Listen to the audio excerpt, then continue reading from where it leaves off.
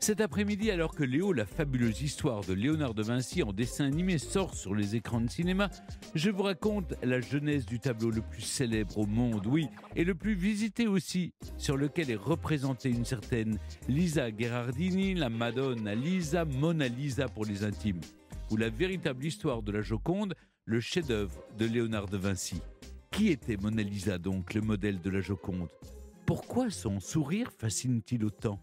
Dans quelles conditions Léonard de Vinci a-t-il réalisé le plus célèbre tableau au monde 15h, 16h, historiquement vôtre. Le récit, Stéphane Bern.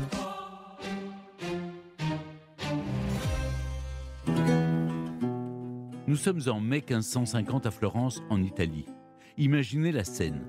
Marietta a 50 ans, mais elle trépine comme une enfant. Enfin, elle entend son frère Pierrot, l'aîné de la fratrie, qui rentre et grimpe 4 à 4 l'escalier. Lui aussi est impatient, il a traversé la cohue de cette ville bouillonnante pour se rendre chez l'imprimeur Lorenzo Torrentino qui lui a réservé les deux volumes in quarto tant attendus.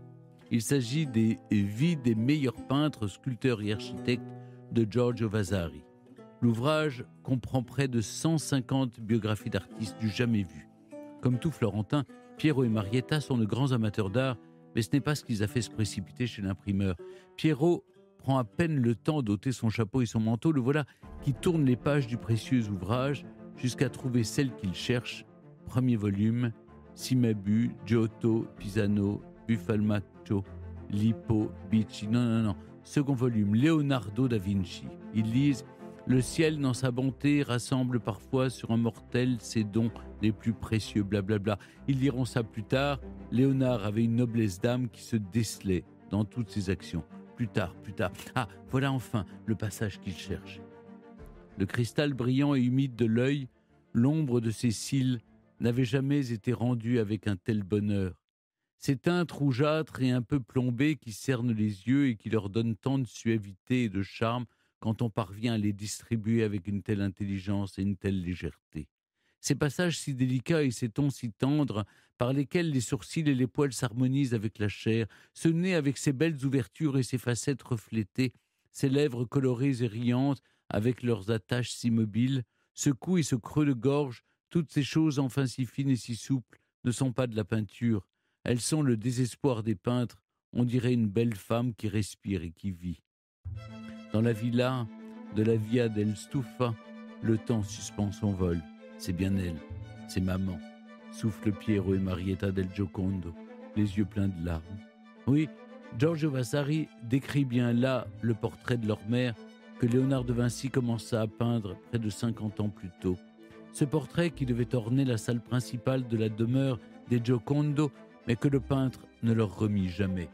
Il préféra l'emporter avec lui là-bas, en France, au Clos Lucé, à Amboise, où il est mort dans les bras de François Ier, selon la légende. En fait, euh, le roi n'était pas du tout à Amboise ce jour-là.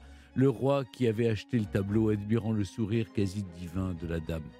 Bref, le temps de quelques lignes, c'est comme si Lisa Gherardini, l'épouse de Francesco del Giocondo, se retrouvait à nouveau là parmi eux. Mais c'est étrange tout de même, cette précision de la part de Vasari qui n'a jamais vu ce portrait connu sous le nom de la Joconde. Une Joconde qui reste l'œuvre la plus célèbre de Léonard de Vinci et la plus mystérieuse aussi. Mais commençons, si vous le voulez bien, par le commencement. Pierre de Vinci décèle très tôt chez son fils aîné un vrai talent pour le dessin. Cet enfant illégitime ne pourra pas aller à l'université, il ne pourra pas devenir notaire comme lui. Alors, il le place dans l'atelier du grand artiste florentin Andrea del Verrocchio, au cœur du quartier populaire de San Ambrogio. Il ne pouvait faire mieux pour ce fils qui va développer dans cet atelier son génie naissant. La ville est immense. Rien à voir avec son petit village natal des collines toscanes. Partout des chantiers, des églises, des palais. Florence est une cité magnifique et fière qui semble toujours en fête. Léonard n'a pas assez Dieu pour tout admirer. Il vient de faire son entrée dans le centre intellectuel et artistique de l'Italie. Dans l'atelier de Verrocchio, on travaille dans une ambiance familiale et joyeuse. Comme les autres apprentis, Léonard reste d'abord dans l'ombre. Il nettoie les pinceaux du maître, prépare les enduits, broie les pigments et veille à la cuisson des vernis et des cols. Il apprend à peindre, dessiner, sculpter. C'est dans cet atelier qu'il découvre la technique du clair-obscur, qui use des contrastes d'ombre et de lumière pour provoquer l'illusion du relief et du volume. Léonard étudie également la perspective et expérimente des mélanges de pigments qui donnent au sujet peint un aspect imprécis. Il cherche à ce que ombres et lumières se fondent sans trait ni ligne, comme une fumée, le fameux sfumato est en germe. En 1470, Verrocchio reçoit une commande des moines de San Salvi, près de Florence, pour peindre le baptême du Christ. Il se charge de peindre le Christ et Saint Jean-Baptiste et confie le paysage et les autres personnages à ses assistants et apprentis, ce qui est alors une pratique très courante. Le jeune Léonard peint un ange agenouillé. La légende dit qu'en voyant la perfection de cet ange, Verrocchio aurait décidé d'arrêter de peindre. Léonard peint ensuite une annonciation pour l'église de San Bartolomeo à Florence. C'est donc qu'il s'est déjà fait une place dans cette ville pourtant bouillonnante de tous les talents de l'époque. Botticelli, Lippi, Ghirlandaio et bien entendu Michelangelo vivent à Florence. C'est aussi un centre intellectuel où poètes et philosophes se côtoient à la cour de Laurent le Magnifique. Mais Léonard n'a pas fait d'études, il n'est qu'un artisan, de génie certes, mais un artisan seulement. Alors il travaille toujours plus, il lit, il se cultive. Il n'aura pas assez d'une vie pour tout apprendre, pour tout expérimenter. Il ne s'en tient pas à la peinture, au dessin et à la sculpture. Il s'intéresse à la botanique, à la géologie, l'anatomie, la médecine, les mathématiques, la géométrie, l'hydraulique, la balistique, la cartographie. Léonard veut tout savoir et tout maîtriser. Mais il travaille lentement et il acquiert bientôt la réputation de ne jamais achever ses œuvres. Après l'Annonciation, les commandes affluent. Luigi Nicolini lui demande de faire le portrait de la jeune femme de 16 ans qu'il vient d'épouser. Ginevra da Benci. On lui demande aussi un Saint Jérôme pénitent, une adoration des mages. Lui souhaite développer son génie mécanique et s'initier à l'astronomie, à la cartographie, auprès du grand mathématicien cosmographe Toscanelli. Malgré le travail, les affaires ne sont hélas pas florissantes. Léonard a besoin d'un mécène. Ce sont les mécènes, les grands amateurs d'art, qui permettent aux artistes d'exercer leur art. Ils passent des commandes et constituent des collections. Ce sont les Sforza, les Médicis, l'Église, les rois, l'aristocratie du pouvoir et quelques grands marchands. Et bien sûr, ils veulent les plus grands artistes. Léonard décide de partir pour Milan à la cour de Ludovic Sforza. Il y parvient en février 1482. Il écrit au prince pour lui expliquer qu'il sait mais aussi fabriquer des machines de guerre et des engins de travaux publics. Il s'intéresse aussi aux machines volantes, aux hélicoptères et parachutes. Quand il arrive à la cour, il joue pour le prince sur un extraordinaire instrument de sa fabrication, car il est aussi un excellent musicien. Finalement, c'est un tableau que Ludovic Sforza demande au peintre toscan, un tableau de sa maîtresse Cecilia Gallerani. Ce portrait sera connu sous le nom de la Dame à l'hermine. Le talent de Léonard culmine dans ce portrait. Il ne peint pas seulement le beau visage de Cecilia, il peint aussi son âme. Il réalise également le portrait de sa maîtresse suivante, Lucrezia Crivelli, encore un chef-d'œuvre connu sous le nom de la Belle Ferronnière. Le duc lui commande aussi une statue équestre de son père en bronze et une fresque représentant la scène, le dernier repas du Christ pour le couvent Santa Maria delle Grazie de Milan. Voilà le Toscan bien en cours. Léonard organise des fêtes somptueuses, imaginant costumes, musique et surtout des animations extraordinaires grâce à son génie mécanique il crée des effets spéciaux et époustouflants qui éblouissent la cour milanaise où il est désormais devenu indispensable. Mais voilà qu'en 1499, les troupes du roi de France entrent dans Milan. C'est le début de la Deuxième Guerre d'Italie. Louis XII s'empare de la ville, Léonard de Vinci travaille pour lui avant de partir pour Mantoue chez la duchesse Isabelle d'Este, grande collectionneuse d'œuvres d'art. Il ébauche son portrait, puis part pour Ferrare, puis Venise, puis Rome, avant de s'en retourner à Florence, devenue une république. Il se cherche à nouveau un protecteur. C'est à l'âge de 50 ans que Léonard entre au service de César Borgia, le fils du pape Alexandre VI. Ce n'est pas l'homme raffiné qu'est Ludovic Sforza, c'est un homme de guerre. Léonard le suit dans ses campagnes militaires, il lui sert de cartographe, lève pour lui des plans de villes ou de régions entières, il lui sert aussi d'ingénieur militaire. Ses machines pour franchir les cours d'eau ou élaborer des fortifications modernes émerveillent.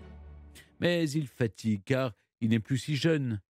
À la chute de César Borgia, il rentre à Florence où il est immédiatement recruté par la République en guerre contre Pise. Le repos n'est donc pas pour tout de suite. D'autant plus qu'on lui passe encore commande de tableau. Le Florentin Francesco del Giocondo souhaite faire faire le portrait de sa jeune femme. C'est une pratique très courante dans les riches familles bourgeoises. Les Giocondo sont des artisans enrichis au XVe siècle, d'abord dans le commerce de tonneaux, puis grâce à la production et au commerce de la soie. Ils sont devenus prospères et puissants. Sa femme, Lisa Gherardini, est née à Florence en 1479 dans une famille de propriétaires terriens. Francesco vient d'acheter une somptueuse villa, Via della Stufa, et d'avoir un troisième fils. Bref, la vie lui sourit. Pourquoi Léonard accepte-t-il de faire le portrait de cet inconnu? Celui d'Isabelle d'Est, la puissante marquise de Mantoue, n'est même pas encore terminé. Et on lui commande aussi une fresque de la bataille d'Anghiari destinée à décorer la salle du Conseil de la République de Florence. C'est un travail colossal et particulièrement complexe, car Léonard ne maîtrise pas bien l'art de la fresque. C'est sans doute sa seule faiblesse artistique. Bref, l'artiste est déjà débordé. Ce portrait, vous le connaissez évidemment, c'est celui d'une jeune femme assise sur un balcon. Son visage et son buste de trois quarts se détachent sur un paysage lointain et austère. Son bras gauche repose sur un accoudoir, sur l'indice d'un fauteuil. Elle regarde le spectateur et, chose exceptionnelle, elle sourit. Quel mystère que ce sourire. Pourquoi Léonard choisit-il de représenter une femme souriante? Et d'ailleurs, sourit-elle vraiment? Avez-vous remarqué que jamais les hommes et les femmes représentés dans les tableaux d'avant Léonard ne sourient? Les artistes médiévaux peignent des sujets religieux qui ne témoignent d'aucune gaieté. Quand les peintres font le portrait des grandes monde, ils sont toujours graves. Les émotions sont bannies par un millénaire et demi de christianisme qui rejette les joies terrestres. De plus, immortaliser un sourire, c'est figer un instant alors que le peintre doit immortaliser une version officielle d'une personne presque idéale. Et puis, comment imaginer qu'un modèle puisse sourire pendant les heures nécessaires à la pause Il finirait forcément par grimacer. Le mystère de ce sourire tient dans sa fugacité. On croit deviner un sourire sans en être tout à fait sûr. Pourtant, le visage de cette femme semble si vivant, vibrant même.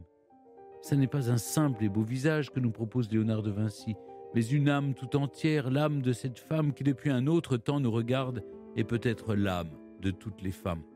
Son expressivité doit beaucoup à la technique employée par le maître, le sfumato, qui, en atténuant le trait du dessin, estompe les contours et fond les ombres. Il produit un effet vaporeux et énigmatique. Aujourd'hui, à l'aide d'une technologie puissante qui permet d'analyser en profondeur des tableaux vieux de plusieurs siècles sans les altérer, on peut savoir comment Vinci a travaillé sur ce tableau. Il travaillait comme aucun autre peintre à son époque. L'analyse de réflectographie ne dévoile aucun trait, aucun contour de visage, pas de dessin préparatoire. Mona Lisa, puisque c'est comme ça qu'on la surnomme, est un fantôme. Une caméra multispectrale permet d'obtenir une image de très haute qualité, un dévernissage virtuel du tableau et de retrouver ses couleurs originelles. Une terre d'ombre a été identifiée dans la couche superficielle du visage, ainsi qu'un mélange composé de 1% de vermillon et de 99% de blanc de plomb dans la sous-couche. La technique artistique du glacis a également été mise en évidence, technique inventée par les primitifs flamands et qui était jusqu'alors inconnue en Italie. Tout récemment, en octobre 2023, des chercheurs ont découvert sur le portrait un mélange inhabituel d'huile fortement saponifiée à haute teneur en oxyde de plomb et de céruse, un pigment blanc toxique à base de carbonate de plomb. Mais la présence la plus remarquable reste celle de la plymbonacrite que les chercheurs n'avaient jusqu'à présent observé que dans des tableaux peints 200 ans plus tard. Il conclut à, je cite, une volonté d'innover dans la préparation de sous-couches de peintures épaisses et opaques sur lesquelles sont ensuite appliquées les couleurs en traitant l'huile avec une forte charge d'oxyde de plomb. Mais toute la science du monde parviendra-t-elle à expliquer le mystère de celle qu'on nomme la Joconde, de ce tableau représentant Lisa Gardini Madame Lisa, Madonna Lisa en italien, ou Mona Lisa si vous préférez, en version abrégée et avec de N, s'il vous plaît.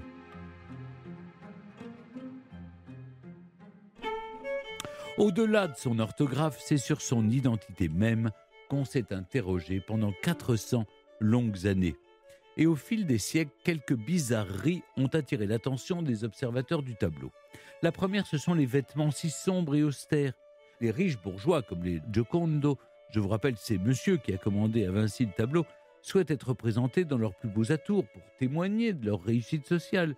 Ils aimaient faire étalage de richesses, de bijoux. Or, on ne voit rien de tel dans le tableau de Léonard. Et, si on peut dire que le sourire de la Joconde est envoûtant, on peut aussi dire qu'il est discret, presque triste. Et ses vêtements si sombres qui la font ressembler à une veuve. Alors, la Joconde ne serait pas le portrait de l'épouse comblée de Francesco del Giocondo, mais celui d'une jeune veuve? Examinons un autre portrait de la Joconde, celui de la Joconde du Prado. Euh, car oui, il existe une authentique copie de la Joconde qui dormait dans les réserves du musée madrilène. On a longtemps pensé qu'il s'agissait d'une banale copie due à un peintre du XVIIe siècle. En 2011, quand les conservateurs sortent le tableau de leur réserve, ils le trouvent bien terne. Le modèle, qui est le même que celui de la Joconde, se détache sur un fond uniformément noir. La spectrométrie infrarouge révèle un paysage sous ce noir. Ils entreprennent donc une restauration et dégagent le Dijon ajouté au XVIIIe siècle. Et là, le paysage est exactement le même que dans le tableau de Léonard.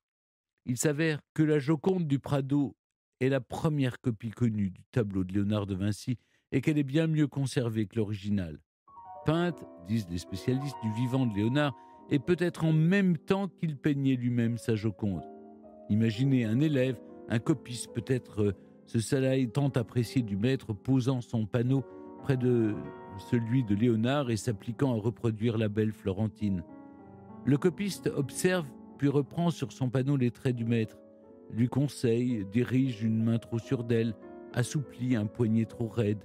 La belle Lisa est donc entourée de peintres qui célèbrent sa beauté, mais aussi de musiciens et de bouffons engagés pour qu'elle ne cesse de sourire. L'atelier résonne de musique et de rire, car Giocondo signifie heureux en italien. Il ne s'agit pas de faire mentir un tel patronyme. Et le jeune copiste s'applique si bien que sa Joconde semble aujourd'hui plus jeune et plus fraîche que celle du maître. Il était courant pour les élèves de peindre en même temps que leur maître le même tableau. C'est une façon d'apprendre. Raphaël lui-même a peint une copie de la Joconde des 1504 qui se trouve aussi au Louvre. Et si vous souhaitez voir en toute tranquillité, loin de l'accueil parisienne ou madrilène, une belle copie de la Joconde, vous n'avez qu'à vous rendre à Quimper, en Bretagne, au musée des Beaux-Arts. Il y a là une copie si fidèle qu'en 1911, quand la Joconde est volée au Louvre, on pense d'abord à la remplacer par cette excellente copie bretonne. Alors, à force d'exposition, de restauration et de vernis, le tableau de Léonard a-t-il perdu ses lumineuses couleurs ce qui expliquerait l'apparente austérité du tableau aujourd'hui? D'autres observateurs ont mis en doute l'identité du modèle de façon radicale. Ils disent que la Joconde serait un homme, un travesti comme ceux que Léonard aime inviter au cours des fêtes qu'il organise. Quand en 1919 à Paris, Marcel Duchamp dessine sur une reproduction de la Joconde une fine moustache et un petit bouc, certains trouvent que ça lui va pas si mal alors quelques poids supplémentaires, et voilà, notre Joconde transformée en homme. On a même avancé un nom pour le modèle, celui de Salai, apprenti et jeune amant du peintre, dit-on. John Giacomo Caprotti est un élève de Léonard qui lui attribue personnellement le surnom Salai, abréviation du terme italien de Saladino signifiant petit diable. Il intègre son atelier à 10 ans et devient à 15 son disciple et son plus fidèle élève, il restera à ses côtés pendant 30 années. En 1524, Salaï meurt. Son inventaire après décès dresse la liste des tableaux de Léonard de Vinci. Il y est fait mention d'un portrait de femme qu'on appelle la Joconde. Voilà qui discrédite la thèse d'un modèle masculin. D'ailleurs, Vasari, dans sa Somme sur les artistes de la Renaissance dont je vous parlais au début de mon récit, est formel. Léonard entreprit pour Francesco del Giocondo le portrait de son épouse Mona Lisa et le laissa inachevé après y avoir peiné quatre ans, ouvrage qui se trouve aujourd'hui chez le roi de France, à Fontainebleau.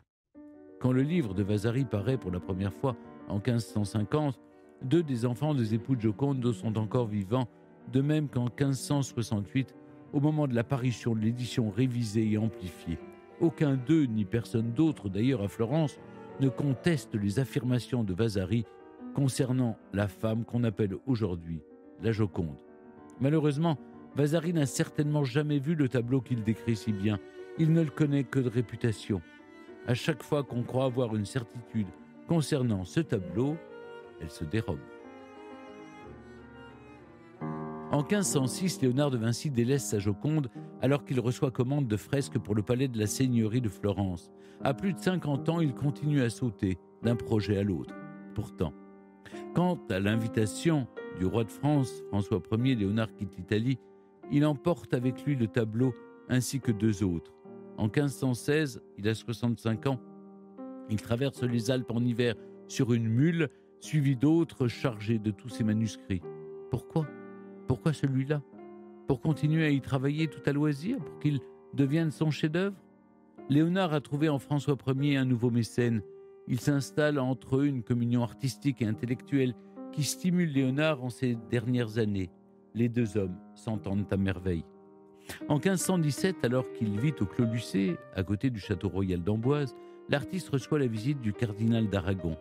Léonard lui montre trois de ses tableaux florentins le Saint Jean-Baptiste, la Madone à l'enfant et le portrait d'une certaine dame florentine faite au naturel sur les instances de feu le magnifique Julien de Médicis. Malheureusement, il ne donne pas le nom du tableau. Le portrait de la Joconde aurait été fait sur demande de Julien de Médicis, troisième fils de Laurent le Magnifique et frère du pape Léon X. Serait-elle l'une des maîtresses du dernier grand mécène italien de Léonard? Ou alors y aurait-il deux tableaux? Une Joconde et une Mona Lisa? L'affaire se complique, hein, n'est-ce pas? Des générations d'historiens se sont penchés et se penchent encore sur ces difficiles questions. Et l'un d'eux fait en 2005, il y a donc pas si longtemps, une découverte qui semble clore le débat sur l'identité du modèle il découvre une note rédigée par un Florentin, Agostino Vespucci, en marge d'une œuvre de Cicéron. Elle est datée, quelle chance, d'octobre 1503 et indique que Leonardo est bien en train de peindre le visage de Lisa del Giocondo. Un contemporain de Léonard stipule donc que Lisa égale Giocondo. Bah, voilà une preuve de poids. Quand Léonard de Vinci meurt en mai 1519 au Clos Lucé, le roi a déjà acheté la Joconde. François Ier l'accroche au château de Fontainebleau. Sous Louis XIV, elle se trouve dans la petite galerie du roi au château de Versailles avec les plus belles pièces de sa collection. En 1784, elle est à la surintendance des bâtiments de France où sont réunis les plus beaux tableaux de la collection de Louis XVI. La Joconde entre au Louvre le 12 août 1797. En 1800, Napoléon ordonne d'installer l'œuvre dans ses appartements du Palais des Tuileries où elle reste jusqu'à son retour au Louvre en 1804. C'est là qu'elle est volée en 1911 par un Italien patriote qui souhaite la restituer à l'Italie. Elle passe deux ans sous son lit et elle en ressort fraîche comme une rose. Pendant ces deux ans, elle a beaucoup manqué aux Français qui se sont rendus compte de leur attachement à la belle Florentine et à son créateur de génie, Léonard de Vinci.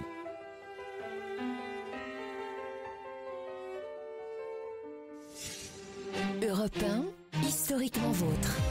Vincent de Lieuvin, merci d'être toujours avec nous sur Europe 1. La Joconde, c'est le tableau le plus célèbre de Léonard de Vinci, le tableau sans doute le plus célèbre au monde. Comment vous expliquez que cette œuvre fascine autant? Alors je crois que la première euh, réponse, c'est Vasari. Vous avez parlé de lui, celui qui a écrit les, les, vies des plus célèbres peintres, sculpteurs et architectes. Et c'est vraiment lui qui, euh, en 1550, alors que les enfants de Mona Lisa sont encore vivants, va faire de ce tableau vraiment un des plus importants chefs-d'œuvre de la Renaissance italienne. Pour lui, c'est vraiment une œuvre divine, puisque Léonard est parvenu dans cette œuvre à imprimer la vie. Il a donné vie à cette femme, à Mona Lisa.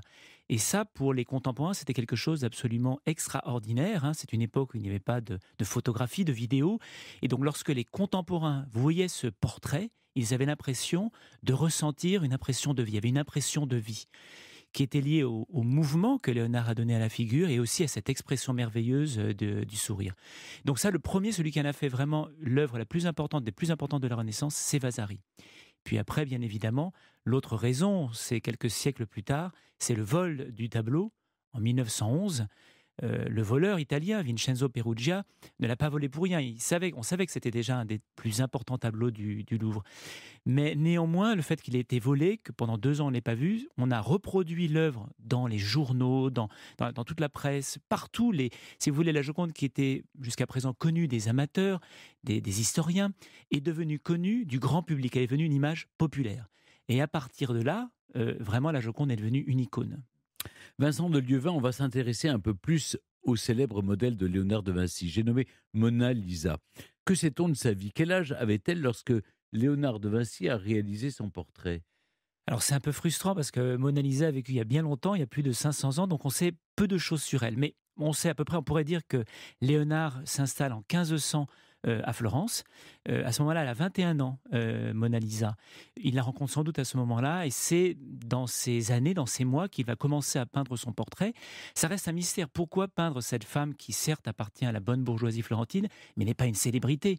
Il est en train de peindre, vous l'avez dit très bien, le portrait d'une marquise bien plus puissante. Pourquoi il délaisse ce portrait d'une marquise pour faire le portrait d'une femme qui intéresse peu de monde en, Occident. Il y a sans doute un rapport peut-être personnel avec euh, cette femme dont la beauté, dont l'intelligence l'a peut-être marqué. Il a voulu, euh, il s'est passionné pour ce, pour ce portrait et donc il s'est lancé dans, ce, dans cette entreprise. Pour le reste, on sait peu de choses. Elle a eu euh, une vie peut-être qui semble avoir été heureuse. Elle a eu six enfants avec Francesco del Giocondo. Euh, on sait quelques secrets de beauté.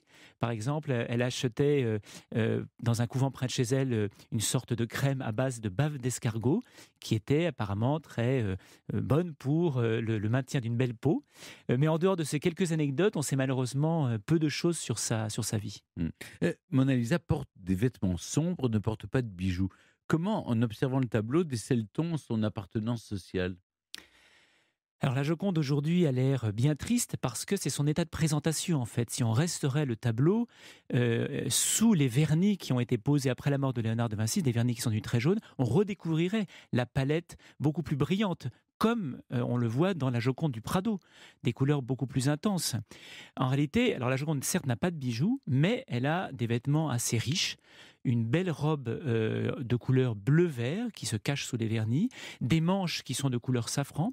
Et puis si vous êtes bien bon observateur, vous verrez que les manches sont accrochées euh, à la robe, laissent sortir au niveau de certains creux hein, une belle chemise blanche, de belle couleur blanche. Et par-dessus le tout, on voit cet extraordinaire voile de soie transparent qu'on appelle un guarnello et qui était une pièce extrêmement riche qui a dû être très coûteuse. Mais bon, son mari était marchand de soie, c'était beaucoup plus facile d'obtenir ce genre de, beaux vêtements. Donc en réalité, derrière cette apparente simplicité, c'est un vêtement d'une grande richesse. Vous parlez d'un vernis jaune qui, efface en quelque sorte la, richesse des couleurs. Euh, pourquoi on ne l'a jamais enlevé, ce vernis jaune, euh, sur l'original de la Joconde? Alors pendant des siècles, on a eu un peu peur de la technique euh, picturale de Léonard de Vinci. Elle est tellement subtile, tellement raffinée qu'on a eu peur d'intervenir. Et je crois qu'on a bien fait, parce qu'on n'avait pas les méthodes chirurgicales qui sont celles de notre époque. Aujourd'hui, on arrive à vraiment amincir les vernis qui ne sont pas originaux, hein, qui ont été posés par des restaurateurs après la mort de Léonard. On arrive à les amincir jusqu'à parvenir à la limite de la couche picturale et ainsi de restituer les couleurs d'origine. Sur la Joconde, on ne l'a jamais fait. Pour le moment, on, on en a fait d'autres quand même au musée du Louvre. On a restauré plusieurs de ces tableaux et notamment les deux autres chefs-d'œuvre que Léonard a emportés avec lui en France, le Saint-Jean-Baptiste et la Sainte-Anne. Comparez euh, la Joconde avec la Sainte-Anne, qui sont d'une technique picturale identique et surtout qui sont sur des fonds de paysage, vous allez voir la différence. Dans la Sainte-Anne, il y a un magnifique ciel bleu, il y a des carnations rosées, il y a des vêtements de couleurs éclatantes. C'est ce qui se cache toujours aujourd'hui en parfait état sous les vernis. Si on resterait la Joconde, on redécouvrirait ce bleu merveilleux, un bleu lapis lazuli dans le ciel. On redécouvrirait la carnation vivante de la Joconde, hein, les blancs, les roses. On redécouvrirait aussi les vêtements, la transparence de la soie, le bleu vert de sa, de sa veste, le, safran rougi de ses manches, ça serait un tableau éclatant. Mais pourquoi on ne le fait pas maintenant? Alors, pour le moment, ça n'est pas euh, à l'ordre du jour. Certainement. On n'ose pas, il y a une sorte de, de, de, de tabou, de, prudence euh? Alors disons qu'on avance avec méthode euh, au musée du Louvre. On a restauré les tableaux qui le nécessitaient, qui étaient très urgents. La Sainte-Anne, elle avait des soulèvements, il fallait le faire. Le Saint-Jean-Baptiste, c'était encore pire. Il avait encore plus, il disparaissait vraiment. Plus sa, chevelure était complètement noyée dans le vernis. Il y a aussi la Vierge Rocher qui euh, est toujours pas restaurée, qui elle euh, est complètement dans le noir, on pourrait dire. Il y a beaucoup de plantes qui sont représentées dans ce tableau, elles ont disparu, on ne les voit plus. Donc vous voyez, il y a une sorte de priorité et on avance lentement. Je ne sais pas si, j'espère peut-être qu'un jour on le, on le Pour le moment, en tout cas, ce n'est pas à l'ordre du jour, mais il faudra faire quelque chose. Euh, j'ai souvent parlé avec un ancien euh, directeur du Louvre qui avait connu, qui est mort aujourd'hui il y a quelques années, mais Michel Laclotte, qui avait connu la Joconde dans les années 50. il m'a toujours dit, mais Vincent, la Joconde a beaucoup changé. Il me le disait dans les années 2013-14. Elle est beaucoup plus jaune, elle est beaucoup plus sombre. Et ça, c'est inexorable, ça va se poursuivre. C'est-à-dire que dans, si on ne fait rien, dans 40-50 ans, la Joconde sera toute noire, presque comme un tableau de soulage. Vous parliez de, décor, justement. L'œil de celui qui regarde le tableau est happé par le visage de, de Mona Lisa, mais le décor qui se trouve derrière elle a aussi son importance. Tout à fait, évidemment. Et c'est vrai qu'il disparaît un peu sous les couches de vernis. Léonard a voulu vraiment représenter ce visage humain, un peu, on pourrait dire, dans euh, l'histoire du monde. Ce tableau, euh, ce paysage qu'il a représenté au fond, est un paysage de montagne avec de l'eau, des cascades d'eau. C'est comme s'il représentait un peu la lente histoire du monde, cette construction du monde avec cette lutte entre les éléments, l'eau qui a déformé euh, la pierre, qui a construit ces paysages merveilleux. En fait, il inscrit l'humanité dans cette histoire euh, de, de, de, la Terre, l'histoire du, du, monde. Et cette place de l'humanité dans, le, dans, dans, dans, l'histoire du monde, elle est très importante dans le discours de, Léonard de Vinci. Une restauration, c'est sûr, hein, permettrait de, restituer ce bon rapport, cet équilibre entre la figure humaine et euh, la Terre. Mmh. Il, il s'est inspiré de, de certains codes artistiques de son temps pour peindre la Joconde de Léonard de Vinci? Alors, Léonard, on pourrait dire, c'est un génial copieur. Hein. Il, a, il était fasciné par les maîtres flamands qui, euh, au lieu des, Italiens qui aimaient les portraits de profil, qui étaient très majestueux mais très froids, il n'y a pas d'expression dans les portraits de profil. Léonard, il voyait que les Flamands avaient eu cette idée de représenter les personnages de trois quarts ou de face, qui permettent de représenter beaucoup mieux la physionomie, mais aussi les expressions humaines. Et donc, il s'est approprié ces codes, mais avec un grand génie, parce que lui y apportait beaucoup plus de naturel. Léonard est un des premiers à avoir représenté la figure humaine à l'échelle naturelle. Donc, la Joconde, en fait, on dit souvent c'est un petit tableau. Non, c'est un grand tableau pour l'époque. Elle est représentée à échelle 1. Lorsque vous êtes face à la Joconde, vous êtes en dialogue avec elle. Euh, Léonard de Vinci a gardé la Joconde auprès de lui jusqu'à sa mort en 1519 à Amboise. Est-ce qu'on sait ce qu'il pensait de son tableau? Est-ce qu'il il en était fier? Il, était, il voulait absolument la garder près de lui? Alors malheureusement, Léonard ne parle jamais de ses tableaux, il parle toujours de théorie de l'art, mais en revanche, ce que l'on peut euh, supposer, c'est que c'était vraiment l'un de ses plus grands euh, chefs-d'œuvre, peut-être l'œuvre la plus accomplie. Et c'est pour ça que très rapidement, elle a eu ce statut d'icône et vraiment de l'œuvre la plus importante de Léonard de Vinci. Hein. Il y tenait beaucoup, il l'a parfaite euh, depuis 1500, on pourrait dire jusqu'à sa mort. Il ne cessait de la reprendre, de parfaire chaque détail euh, de son tableau, de la considérer vraiment comme son grand chef-d'œuvre, une œuvre expérimentale qui allait être le résumé de toutes ses connaissances scientifiques, mais aussi techniques, hein, et celle où il allait démontrer sa capacité à représenter la vie, mais la vie physique, physiologique, psychologique. Vincent de Lieuvin, le détail le plus commenté de la Joconde, c'est son sourire mystérieux. J'en ai parlé dans le récit, mais pourquoi sourit-elle? Est-ce qu'il a, on a, on a des hypothèses Elle est heureuse Elle est, euh, ou est-ce que c'est pas un sourire? Alors c'est quand même euh, un sourire, mais un sourire très léger. C'est comme le surgissement d'un sourire. D'ailleurs, on a l'impression qu'il nous est adressé. Vous voyez, la Joconde se tourne vers nous et elle commence à nous adresser un sourire vibrant. Alors on a beaucoup commenté ce sourire. Une des explications, qui est finalement euh, assez amusante, ce serait une sorte de jeu sur le nom de famille de Mona Lisa. Elle s'appelle Mona Lisa del Giocondo. Giocondo, ça veut dire heureux. Et en fait, la Gioconda, la Joconde, c'est Madame Heureuse. Alors évidemment, heureusement que Madame Heureuse sourit. Euh, donc une sorte de jeu de mots euh, sur un, jeu sur le nom de famille. Mais peut-être plus sérieusement, il y a là quelque chose qui est de la quête de Léonard de Vinci. Si vous regardez l'œuvre de Léonard de Vinci, il est vraiment fasciné par cette expression. Et il a voulu, dans, beaucoup de ses tableaux, on retrouve le sourire. Et dans la Joconde, ce sourire, c'est vraiment Léonard qui cherche à représenter l'expression la plus caractéristique de l'humanité. Seul l'être humain sourit, et le sourire, c'est l'expression la plus subtile, la plus complexe, la plus ambiguë. Là, présentement, vous êtes, Stéphane, vous êtes en train de me sourire, mais je ne sais pas ce que vous Est-ce que vous vous moquez de moi? Est-ce qu'au contraire, vous êtes d'accord avec moi C'est très compliqué à analyser un sourire. c'est vrai, C'est très compliqué à interpréter un sourire. C'est vraiment toute la profondeur de l'humanité qui est révélée dans ce sourire. Et c'est ça que Léonard a voulu mettre en scène ici, montrer toute la subtilité, la complexité de l'âme humaine. Tout à l'heure, vous avez dit, c'est peut-être l'âme de, de, toutes les femmes. J'irais même plus loin, j'irais c'est l'âme de toutes les femmes et de tous les hommes. C'est l'âme de l'humanité que Léonard a représenté dans ce sourire. Et c'est très beau que ce soit une femme qui soit capable de représenter l'humanité. Pour la Renaissance, c'était quelque chose de très fort. Plus de 500 ans après sa réalisation, la Joconde continue à faire parler d'elle. En 2018, c'est son teint qui a interpellé certains chercheurs qui avaient conclu qu'elle souffrait d'une maladie de la thyroïde. Euh, alors, pourquoi elle a mauvaise mine, Vincent de Lieuvin alors c'est vrai, ces chercheurs étaient partis d'une bonne observation, mais ils auraient quand même dû m'appeler avant de ah faire le... Je leur aurais, expliqué quelque chose de très simple.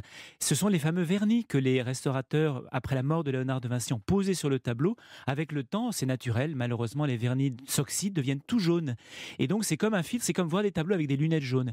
Et donc en fait, si euh, ils m'avaient parlé, je leur expliqué en dessous de ces vernis, la Joconde a un teint beaucoup plus frais. Elle est en fait peinte avec du vernis elle, est comme vous et moi. Elle a un, beau teint euh, tout frais, fait de blanc de plomb et de vermillon, donc quelque chose de très rosé, blanc et rosé, quelque chose qui incarne vraiment la vie. Mais comment vous expliquez qu'il y ait autour de la Joconde toutes sortes de mystères, ou en tout cas d'hypothèses les plus farfelues Un jour c'est un homme, le lendemain elle est malade. Enfin, ça, ne cesse jamais d'émerger. Hein.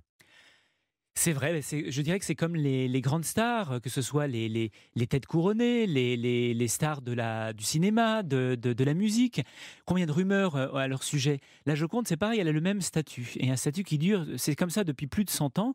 On ne cesse de dire toutes sortes de choses à son sujet. Je crois que c'est inexorable, euh, parce que, bien évidemment, ça fait vendre. Et puis aussi, sans doute, parce que si vous inventez, vous êtes l'inventeur d'une nouvelle théorie, d'une nouvelle rumeur, bah, à vous aussi la célébrité. On a parlé tout à l'heure des, conditions de conservation de, la Joconde.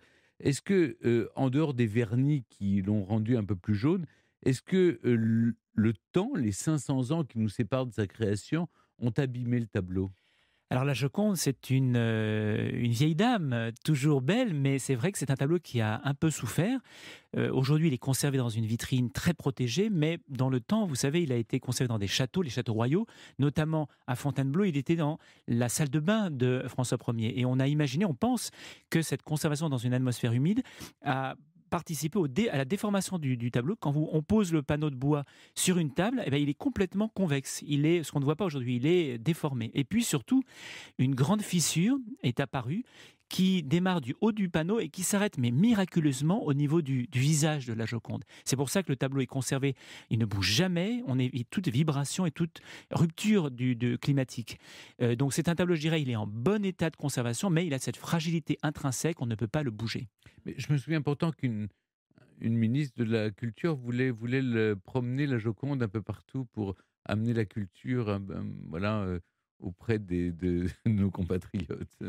Ah bah, c'était une belle idée, généreuse, mais qui n'était pas vraiment euh, pragmatique parce que, et d'ailleurs elle a été abandonnée, parce que cette belle Joconde, malheureusement, euh, comme toutes les personnes âgées, peuvent rarement faire des tours, de grands tours de France. Il faut la conserver. elle ne peut pas bouger. elle ne peut pas bouger. Elle est vraiment, elle a cette fragilité intrinsèque, cette grande fissure. Le risque, c'est que, en fait, tout simplement, le panneau de bois casse en deux et la cassure, elle est très mal placée. C'est en plein milieu du visage. On aurait des pertes de matière irrémédiables. Pendant la Seconde Guerre mondiale, en revanche, elle, a été la première à bouger. Je crois qu'elle a été emmenée au château de Chambord et on l'a, protégée. Alors effectivement, lorsqu'il y a eu des, cas de force majeure, mais là aussi en prenant des précautions extrêmes dans des caisses les plus expérimentales de l'époque, on l'a déplacée, on n'avait pas le choix parce qu'on craignait qu'elle soit emportée notamment par l'Allemagne nazie sous la Seconde Guerre mondiale. Donc effectivement, elle a été déplacée, envoyée à Chambord et puis après elle est partie dans le sud de la France, dans diverses résidences, Montauban, le château de Montal, etc. etc. La Joconde, c'est le tableau le plus connu au monde. Aujourd'hui, elle trône au centre de la salle des États au musée du Louvre. Elle a attiré, je le rappelle, près de 9 millions de visiteurs l'an passé. C'est aussi le tableau le, plus surveillé. Euh, au fond, Mona Lisa doit être traitée comme une superstar. Mais son statut de superstar fait qu'on doit faire avec. Et effectivement, c'est pour ça qu'elle est euh, conservée dans cette vitrine ultra euh, sécurisé, dans des conditions de conservation euh, merveilleuses. C'est d'ailleurs, je pense que ça ferait plaisir à Léonard, lui qui était un grand scientifique qui aimait l'expérimentation. Il serait heureux de voir qu'au revers du tableau, il y a des systèmes de capteurs qui euh, permet de contrôler le moindre éventuel mouvement du bois. C'est vraiment quelque chose qui est unique au monde et qui est une sécurité pour nos musées du Louvre euh, merveilleuse. Alors je vous rassure, hein, il ne se passe rien, les capteurs ne détectent rien parce que la, la vitrine est extrêmement performante. Donc le tableau ne bouge pas, il est en très bonne santé. Tout à fait. Merci beaucoup Vincent de Lieuvin de nous avoir accompagnés cet après-midi dans Historiquement Vôtre pour retracer la véritable histoire de la Joconde, le chef-d'œuvre de Léonard de Vinci. Je précise que votre livre Léonard de Vinci en 15 questions est disponible aux éditions Azan. Historiquement Vôtre sur Europe 1 et en podcast sur europe1.fr.